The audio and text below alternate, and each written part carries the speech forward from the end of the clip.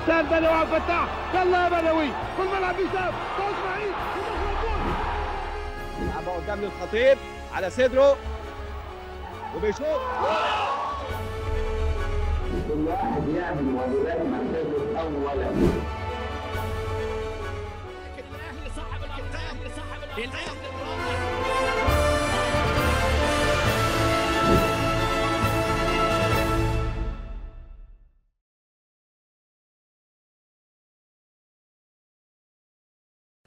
مساء الخير عليكم جميعا. في الحلقة اللي فاتت اتكلمنا عن وفاة جعفر ولي باشا الرئيس الرابع للنادي الأهلي يوم 28 ديسمبر 1943 والقيمة جعفر ولي باشا الكبيرة نظمت له الدولة جنازة رسمية عند بيته في المطرية. الله يرحمه. واتكلمنا عن اجتماع مجلس إدارة النادي الأهلي يوم الحد 2 يناير 1944 لانتخاب رئيس جديد للنادي. وتم انتخاب أحمد حسنين باشا عشان يكون الرئيس الخامس للنادي الأهلي. واتكلمنا عن السيرة الذاتية لأحمد حسنين باشا وتاريخه الرياضي. واتكلمنا عن الحفل اللي أقامه الأهلي لتكريم عبد الحميد عبد الحق باشا وزير الشؤون الاجتماعية وأحمد عبود باشا علشان المساهمة الكبيرة ليهم في إنشاء حمام السباحة. واتكلمنا عن زيادة عدد الألعاب والمسابقات في النادي. لحد ما بقى عدد اللعبات اللي بيمارسها الأعضاء وبتشارك في المسابقات 14 لعبة. وزادت المسابقات اللي بتشارك فيها المرأة وكمان استمرت المسابقات اللي بينظمها النادي للطلبة في استمرار لدور النادي التاريخي. واتكلمنا عن ريادة الأهلي للبرامج الرياضية في الإذاعة المصرية لما تم اختيار اتنين مدربين من الأهلي لتقديم برامج تمارين الصباح زي الأستاذ محمد شكري ومعاه الأستاذ بليغ صفوت. وأخيرا اتكلمنا عن الحصار الإعلامي اللي عمله الإنجليز على الملك فاروق عام 1944 ومنع إذاعة اسمه في الراديو أو ذكره في الصحف. وإزاي أعضاء الأهلي فكري أباظة ومصطفى أمين استغلوا الحفل اللي الأهلي بينظمه سنويا في ليلة العيد وبتحييه كوكب الشرق أم كلثوم وبيتذاع في الإذاعة المصرية عشان يتم كسر الحصار بعد دخول الملك فاروق قاعة الحفل بالأهلي ويضطر مذيع الراديو يعلن عن دخول الملك فاروق ويتم منح أم كلثوم وسامي الكمال. وده كان يوم 17 سبتمبر 1944 واحتفالا من الأهلي باليوم الجميل ده وفي جلسة 26 سبتمبر 1944 بدأ محضر الجلسة بما يلي. يسجل مجلس إدارة النادي عظيم سرور النادي بتشريف حضرة صاحب الجلالة الملك المعظم لحفلة الإذاعة اللاسلكية ليلة العيد. ووافق المجلس على اقتراح حضرة الأستاذ عبد الوهاب الشريعي بصرف مبلغ 15 جنيه عيدية للفقراء بهذه المناسبة. طبعا ما تستقلوش بال 15 جنيه دول دول كانوا مبلغ كبير قوي أيامها. وفي نفس الجلسة اقترح حضرة المحترم الأستاذ يوسف الشريعي على المجلس أنه نظرا للخدمات الجليلة التي أبداها كل من الأستاذين حسين حجازي ومحمود مختار للرياضة عامة وللعبة كرة القدم خاصة أن يمنح عضوية الشرف بالنادي فوافق المجلس بالإجماع على ذلك. حسين حجازي أبو الكرة المصرية. وضمن أول فريق لكرة القدم في النادي الأهلي عام 1911 وسنة 1913 سافر يدرس في إنجلترا ولعب لفريق الجامعة وبعض الأندية وبعدها رجع الأهلي. واتنقل بين الأهلي والسكة الحديد والقاهرة والمختلط. لكن عام 1932 رجع للأهلي. ولعب عدد من المباريات قليلة واعتزل كرة القدم وهو بين جدران النادي الأهلي. ومحمود مختار التتش بدأ تاريخه في الأهلي عام 1922 وزي ما بيقولوا كده اتولد نجم. كان لعيب كبير قوي. وكابتن الأهلي ومنتخب مصر في نهائيات كأس العالم والدورات الأولمبية. وكان ضمن منتخب العالم اللي تم اختياره بعد نهائيات كأس العالم عام 1934 وبعد الدورة الأولمبية بأمستردام عام 1928 وبعد برلين عام 1936 واعتزل لعب كرة القدم عام 1940 وكان من مؤسسي اتحاد البلياردو ومن أبرز ممارسي اللعبة. وكمان كان من مؤسسي لعبة الهوكي. واستمر يلعبها بعد اعتزال كرة القدم. في الوقت ده كان تطوير النادي مستمر. زيادة مساحة الأرض وإنشاء ملاعب جديدة وحمام السباحة اقترب ميعاد الانتهاء من إنشائه وغيرها وغيرها وغيرها من أعمال التطوير في النادي. وجت في راس بعض أعضاء النادي فكرة رصف شوارع النادي. وعرضوها على كابتن النادي محمود مختار التتش اللي اتحمس ليها وعرضها على مجلس الإدارة. وكمان ساعد باتصالاته على سرعة إنجازها. وزي ما جه في محضر جلسة مجلس الإدارة تلي الخطاب المرسل لمصلحة التنظيم الخاص برصف شوارع النادي الداخلية والموقع عليه من حضرة صاحب المقام الرفيع أحمد محمد حسنين باشا رئيس النادي. وقد قرر المجلس شكر الأستاذ محمود مختار عضو النادي لمساهمته في السعي لإتمام هذا المشروع. وكان مشروع حضاري زاد من جمال ورقي ورونقة ونظافة النادي. ويوم 26 أكتوبر سنة 1944 اجتمعت الجمعية العمومية للنادي واختارت مجلس إدارة جديد ضم أحمد عبود باشا. وأحمد عبود باشا كان انضم لعضوية مجلس الإدارة بالاختيار في المكان اللي خلي بوفاة جعفر ولي باشا رئيس النادي. اللائحة في الوقت ده كانت بتنص على وجود اتنين من المساهمين في مجلس الإدارة وكان أحمد عبود باشا واحد من المساهمين فتم تزكيته. ودخل المجلس عضو عن المساهمين. واجتمع مجلس الإدارة يوم 8 نوفمبر 1944 واختار طبقا لقانون النادي الرئيس والوكيلين وأمين الصندوق وسكرتير النادي. واستمر أحمد حسنين باشا رئيس للنادي. وانتخب أحمد عبود باشا وكيل أول للنادي بدل من فؤاد أباظة باشا اللي اعتذر عن عدم إعادة ترشحه للوكالة. واستمر أحمد فؤاد أنور بيك وكيل تاني للمجلس.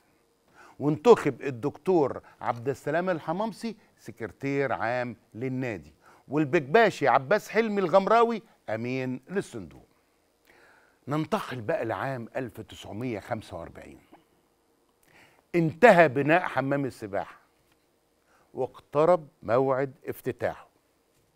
وتقرر إنه يكون يوم الافتتاح 15 مايو سنة 1945 وزي ما قلنا في الحلقة اللي فاتت إن أحمد عبود باشا اتبرع ب 4000 جنيه عشان يتم تطوير حمام السباحة قبل افتتاحه وعمل مختص للعبة الخطس عشان يوصل تبرعه لإنشاء حمام السباحة ل 7000 جنيه. غير ال 3000 جنيه اللي وزارة الشؤون الاجتماعية ساهمت بيها. يعني إجمالي المبلغ كله 10000 جنيه. لكن وصلت تكلفة الحمام قبل الافتتاح إلى 13000 جنيه. وكان إيه السبب؟ وكان السبب غلاء مواد البناء والحديد بصورة كبيرة. ليه؟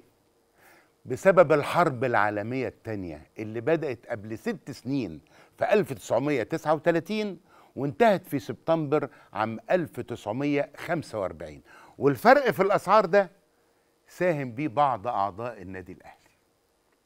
وبدأ النادي الأهلي في قبول طلبات الاشتراك في حمام السباحة. وكان الإقبال هايل من طلبة الجامعة والهيئات المختلفة.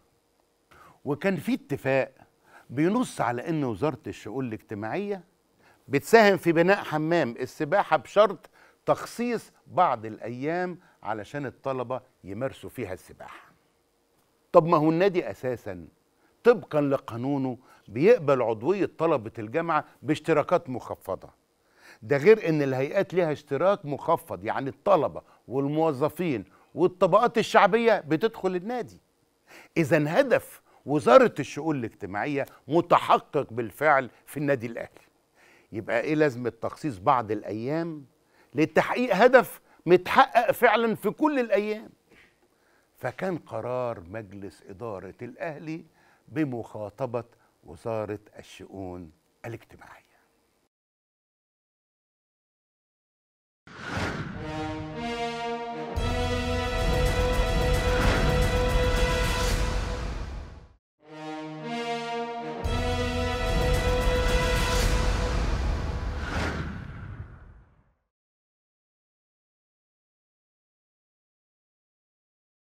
قرر مجلس الإدارة في جلسة 11 مايو 1945 عرض الأمر كله على وزير الشؤون الاجتماعية.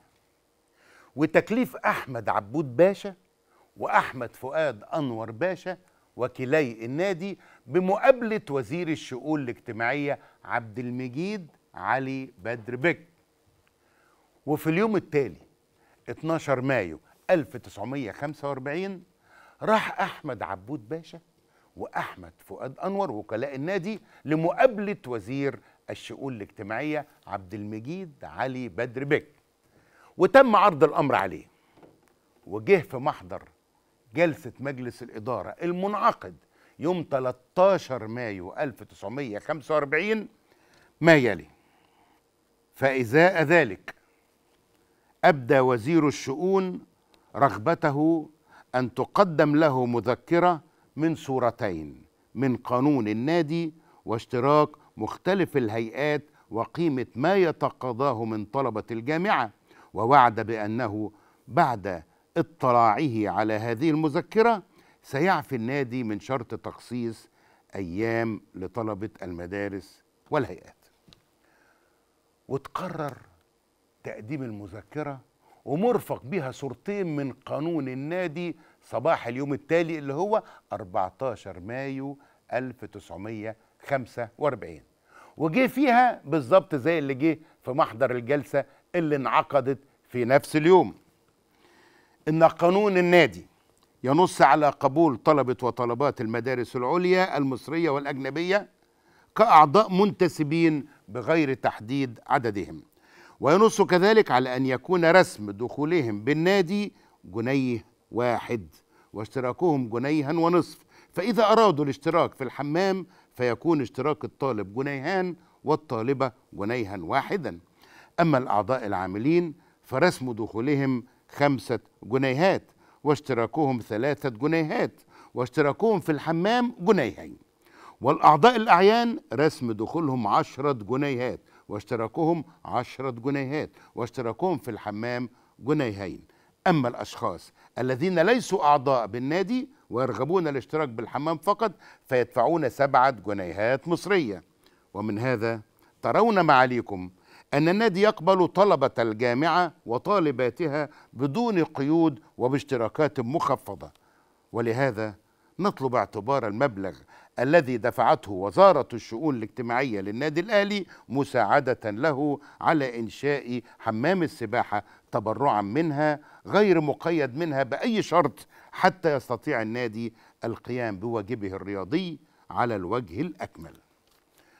وفعلا وافق وزير الشؤون الاجتماعية وأشر على مذكرة النادي الأهلي وقال أوافق على هذا الطلب بعد التأكد من أن طلبة وطالبات الجامعة وهم من أرقى طبقات الشعب سيكون لهم حق استعمال الحمام باشتراكات مخفضة. وهكذا أصبح حمام السباحة ملكا خالصا للأهلي وأعضائه واستعد النادي لافتتاحه في اليوم التالي 15 مايو 1945 في حضور الملك فاروق. وأرى سعادة فؤاد أنور باشا على المجلس الخطاب اللي هيلقيه في حفلة افتتاح الحمام. ووافق المجلس على البرنامج النهائي للحفل. وأصدر القصر الملكي بيان نشرته الصحف بمناسبة زيارة الملك فاروق للنادي الأهلي. جه فيه تحت عنوان ديوان كبير الأمناء. يوم الثلاثاء 15 مايو. في الساعة الخامسة والدقيقة الحادية عشر بعد الظهر استقل حضرة صاحب الجلالة الملك السيارة الملكية من قصر عابدين العامر وفي المعية الثانية صاحب العزة القائد مقام محمد توفيق زاهر بك الياور قاصدا في رعاية الله إلى النادي الأهلي للرياضة البدنية بالجزيرة للتفضل بافتتاح حمام السباحة الذي أنشأه النادي. وكان في استقبال الملك فاروق الأمراء والنبلاء من أعضاء الأسرة المالكة. وحضرة صاحب الدولة محمود فهمي النقراشي باشا رئيس مجلس الوزراء. وأصحاب المعالي الوزراء وبهي الدين بركات باشا رئيس ديوان المحاسبة اللي هو دلوقتي يعتبر الجهاز المركزي للمحاسبات ومعاهم كبير الأمناء وأعضاء اللجنة الأهلية للرياضة البدنية وأعضاء مجلس إدارة النادي الأهلي ورؤساء الاتحادات الرياضية وحضرة صاحب السعادة محافظ القاهرة وحضرات كبار رجال القصر الملكي. شوفوا أهمية الحدث ده. جاب مين يحضروه؟ وزي ما ذكرت صحيفة المقطم وعند وصوله صافح جلالة الملك المدعوين ثم تفضل جلالته فأزاح بيده الكريمة الستار عن اللوح التذكاري لإنشاء حمام السباحة ثم تبوأ مكانه السامي. وهنا اتقدم أحمد فؤاد أنور باشا وكيل النادي الأهلي فألقى كلمة النادي اللي اتكلم فيها عن أسباب بناء الحمام وإزاي تم تمويله. وشكر تبرع أحمد عبود باشا بالمساهمة الأكبر في بناء الحمام. وختم كلمته متحدثا عما قدمه سعادة عبد الحميد عبد الحق باشا وزير الشؤون الاجتماعية السابق ومعالي عبد المجيد عمر بك وزير الشؤون الاجتماعية الحالي من معونة لهذا المشروع الرياضي العظيم. وبعد كلمة النادي الأهلي بدأت المسابقات في السباحة والألعاب المائية بين سباحي وسباحات النادي وسباحي وسباحات المدارس المختلفة. وبعد المسابقات تم تنظيم حفل شاي قصير كده كاستراحة. وبعد الاستراحة أعلن وكيل النادي الأهلي أحمد فؤاد أنور باشا إن أحمد عبود باشا تبرع بثلاثة آلاف جنيه بخلاف تبرعاته السابقة بمناسبة إيه؟ تشريف جلالة الملك للحفل. وإن حضرة محمد حسن العبد بك اتبرع بألف جنيه لنفس المناسبة.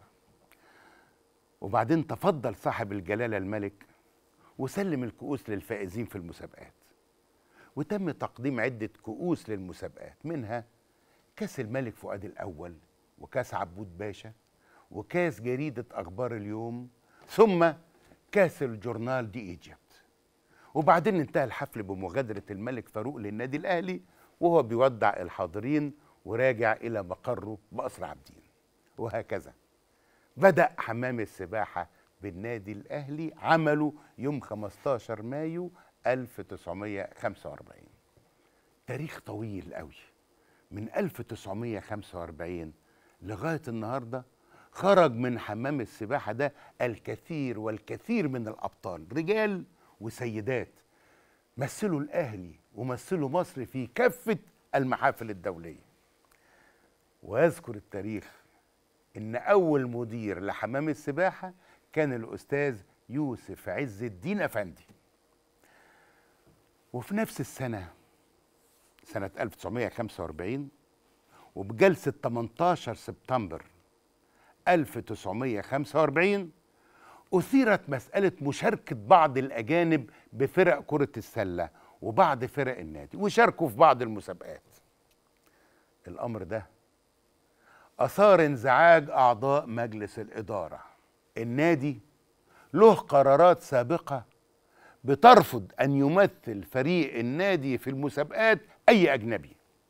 صحيح في أعضاء أجانب بيمارسوا الرياضة بصفة منتسبة لكن الاشتراك ضمن فرق النادي في المسابقات أمر يعتبر خط أحمر. عشان كده صدر قرار قوي. كان نصه إيه؟ قرر المجلس أن تكون المصرية هي الطابع الذي يسود النادي وعلى لاعبيه في المباريات. الا يليق بكرامة النادي أن يستعين بأشخاص لا تربطهم بالقومية المصرية اي صله وقد تقرر تبليغ هذا القرار لجميع سكرتاري الألعاب. القرار بصياغته دي بيعيد الأمور لنصابها عند بعض سكرتير الألعاب لأن بعضهم حب ينجح في لعبته بأي شكل. دون النظر إلى هوية النادي وطابعه المتمثل في إنه نادي مصري للمصريين. فضم بعض الأجانب لفرق النادي في المسابقات. صحيح النادي هيكسب المسابقات لتفوق الأجانب لكنه هيفقد هويته كنادي مصري تأسس من أجل المصريين. عشان كده كانت قوة القرار.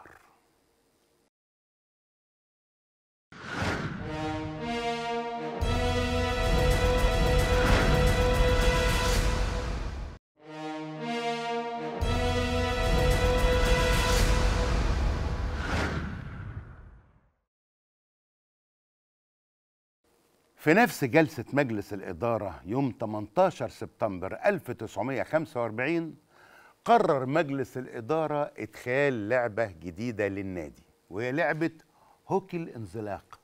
وإنشاء ملعب ليها. وجه في محضر الجلسة وافق مجلس الإدارة على تنفيذ مشروع إنشاء ملعب هوكي الانزلاق وشراء البلاط اللازم وتقديم المؤيسة في الجلسة القادمة.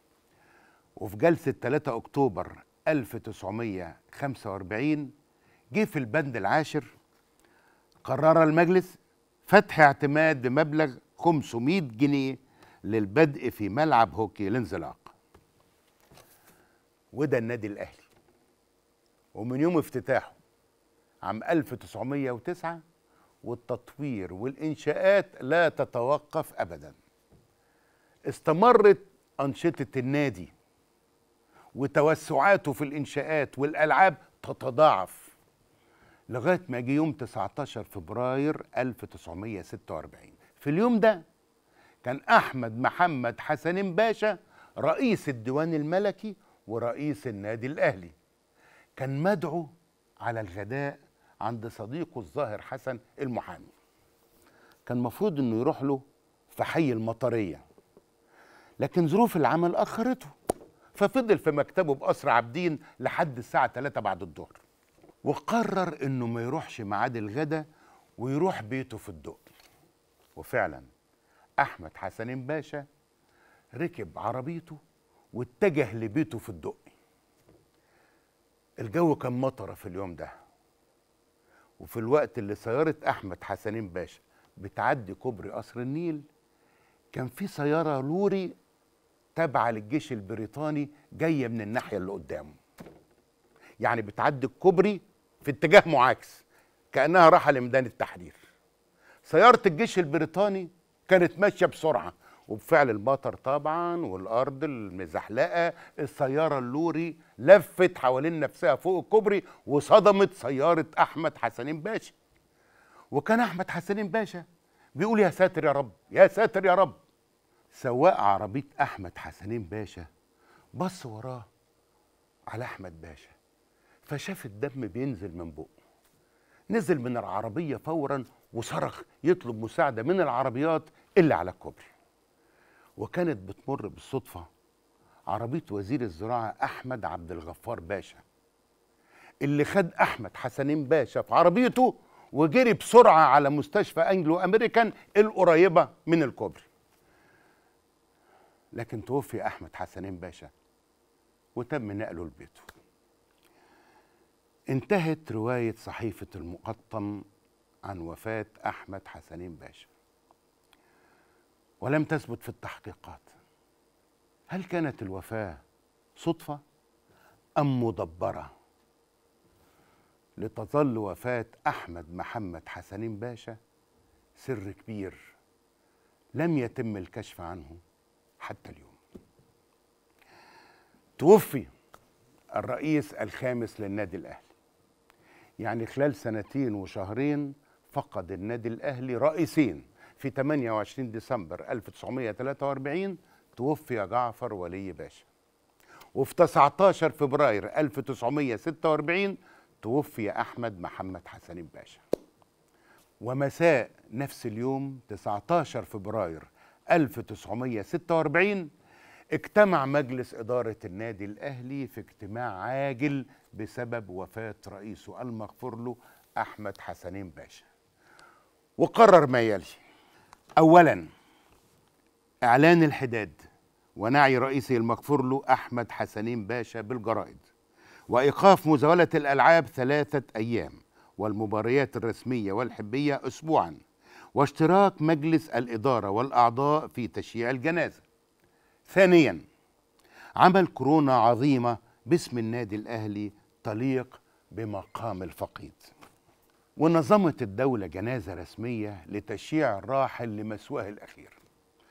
حضرها رجال القصر والحكومة وشيخ الأزهر ومفتي الديار المصرية ومجلس النواب والقضاء ورجال الفكر والأدب ومجلس إدارة الأهلي. ومشيت الجنازة لغاية جامع الكخية عشان يصلي المشيعين صلاة الجنازة على روح الفقيد قبل ما يتم دفنه بمقابر أسرته بمنطقة المجاورين. وفي جلسة 27 فبراير 1946 قرر مجلس الإدارة تأجيل حفلة الأوبرا السنوية وتم إيقاف الجلسة عشر دقايق حدادا على روح الفقيد. وإقامة حفل تأبيل للمرحوم المغفور. له الله يرحمه. واستمرت الحياة في النادي. واستمر مجلس إدارة الأهلي يدير النادي بدون رئيس لحين انتخاب رئيس جديد في أول جمعية عمومية.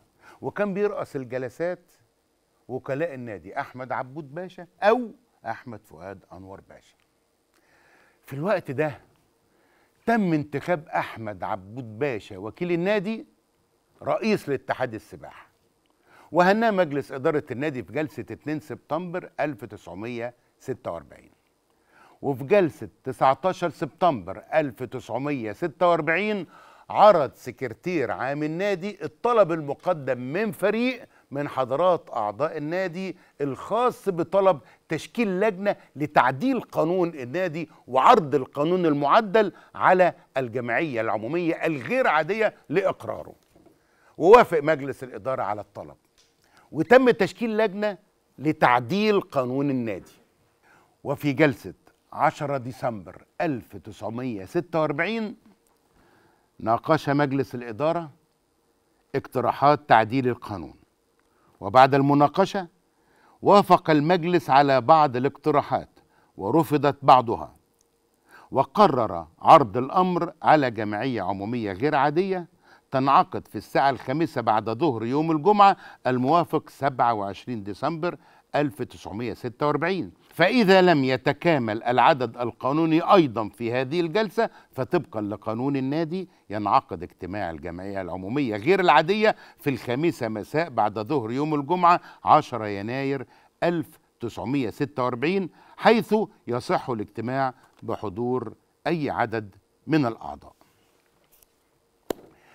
ما اكتملش النصاب القانوني لانعقاد الجمعية العمومية غير العادية يوم الجمعة 27 ديسمبر 1946 وتقرر تأجيلها عشان تنعقد يوم الجمعة 3 يناير 1947 وكان من أهم تعديلات قانون النادي الجديد ثلاث تعديلات. الأول انتخاب رئيس مجلس الإدارة. وزي ما إحنا عارفين من أول تأسيس النادي وقانونه بينص على إن الجمعية بتنتخب مجلس إدارة ومجلس الإدارة هو اللي بيختار رئيس مجلسه. وكمان مجلس الإدارة هو اللي بيختار وكيل النادي وسكرتيره. لكن التعديل الجديد لقانون النادي واللي تم إقراره في الجمعية العمومية المنعقدة 3 يناير 1947 قررت أن يكون اختيار رئيس مجلس الإدارة حق أصيل للجمعية العمومية. وفضل اختيار وكيل النادي وسكرتيره وأمين الصندوق من اختيار أعضاء مجلس الإدارة.